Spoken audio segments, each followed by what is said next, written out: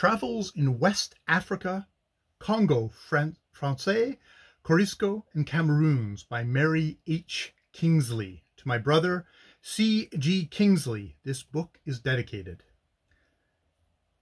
Preface To the reader, what this book wants is not a simple preface, but an apology, and a very brilliant and convincing one at that. Recognizing this fully, and feeling quite incompetent to write such a masterpiece, I have asked several literary friends to write one for me, but they have kindly but firmly declined, stating that it is impossible satisfactorily to apologize for my liberties with Lindy, Linda, Lindy Murray and the Queen's English. I am therefore left to make a feeble apology for this book myself, and all I can personally say is that it would be have been much worse than it, it than it is than it has I and I all I can say is personally that is that it would have been much worse than it is had it not been for Dr. Henry Guillemard, who has not edited it, or of course the whole affair would have been better, but who has most kindly gone through the proof sheets, lassoing prepositions which were straying outside their sentence stockade, taking my eyes off the water cask and fixing it on the scenery where I meant to be, saying firmly in pencil on margins, No, you don't, when I was committing some more than, unusual, than usual heinous literary crime, and so on.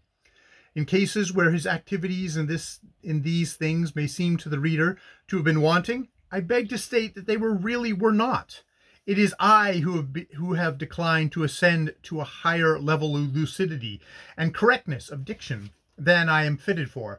I cannot forbear from mentioning my gratitude to Mr. George Macmillan for his patience and kindness to me. A mere jungle of information on West Africa. Whether you, my reader, will share my gratitude is, I fear, doubtful, for it has not been for him at if for it not being for him, I should never have attempted to write a book at all and in order to excuse his having induced me to try, I beg to state that I have written only on things that I know from personal experience and very careful observation.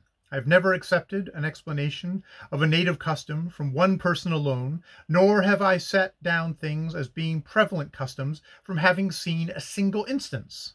I have endeavored to give you an honest account of the general state and manner of life in Lower Guinea, and some descriptions of the various types of country there.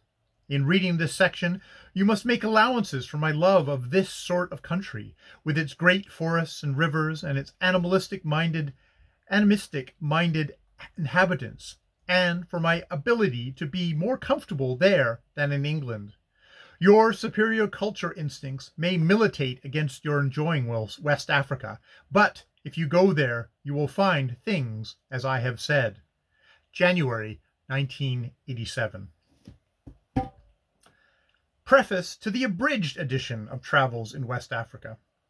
When on my return to England from my second sojourn to, in West Africa, I discovered, to my alarm, that I was, by freak of fate, the sea serpent of the season, I published, in order to escape from this reputation, a very condensed, much abridged version of my experiences in Lower Guinea, and I thought that I need never explain about myself or Lower Guinea again.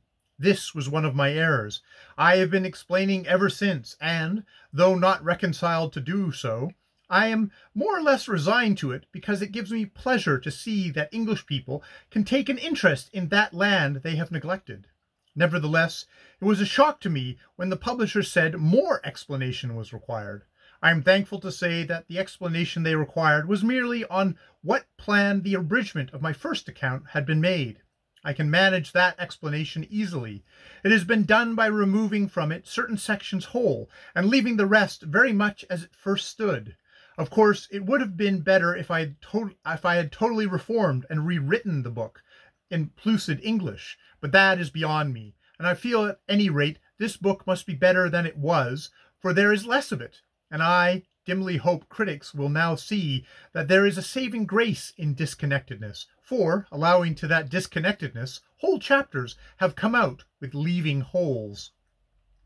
As for the parts that that is left in, I have already apologized for its form, and cannot help it, for Lower Guinea is alike what I have said it is, No one who knows it has sent home contradictions of my description of it, or its natives, or their manners or customs, and they have had by now ample time and opportunity.